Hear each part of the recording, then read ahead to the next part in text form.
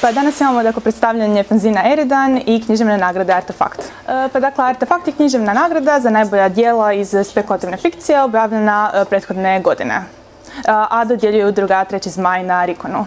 Ove godine su artefakte dobili za, u kratkoj kategoriji Igor Rendić za priču Krugovi. U srednjoj kategoriji smo nagradili dvije priče i to priču Tri Laure Veronike Santo i priču Marijana, Darka Macana i Tatjane Jambrišak. Te u dugoj kategoriji artefakt je dobio roman Povratak genija Tomice Šavine. Dobitnik e, nagrade Artefakt e, dobije dakle, jednu skulpturicu e, koju radi uvijek naš umjetnik Tonko Vukonić i svake godine nam se zato izgled nagrade i mijenja, tako da je to u principu jedan umjetnički rad za umjetničko djelo. Ja ću danas uz Antoniju pričati o fanzinu Eridan koji je glasilo udruge 3. zmaj. Eridan je prvenstveno namijenjen mladima da mladi mogu objavljivati svoje tekstove i crteže. Eridan postoji kao i udruga 3. zmaj od 2005. godine. Do sad smo izdali 15 brojeva, dva su na engleskom. Nagrađeni smo kao najbolji europski fanzin 2012. godine na Eurokonu u Zagrebu. E, novi broj Eridana je 15. broj koji je napravljen s ciljem da ga se distribuira na Euroconu u Dublinu i Worldconu u Londonu koji su držali u ljeto ove godine. E, ja sam urednica, Nela Donato je, je radila grafičku pripremu, a Vladivo Listica je prevodio neke birane priče.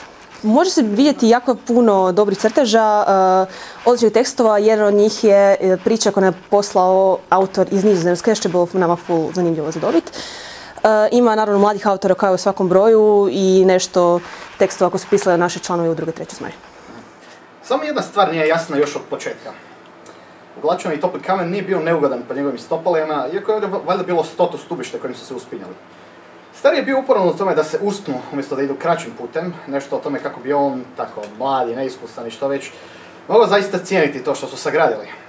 Kad je to čuo, kad su tek počinjali uspon, zvučalo mu je kao glupost kao i čitav ovaj posao kad mu je dodijeljen. Dugo vremena radio poput stroja, samo se htio što prije maknuti odavde, prijeći na sljedeći posao, da napokon do kraja odradi propisano i da napokon može odabrati čime se zaista želi baviti. Što? Pitao je stari.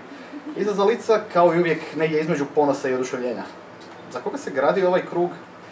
Stari je stao, prišao samom rubu stepeništa, udaljeno od pada u naizgled bezdan, za jedan tek blagi trzaj nogu, pa raširio ruke i krila prema golovom zdanju kruga pitaš za koga je sve ovo?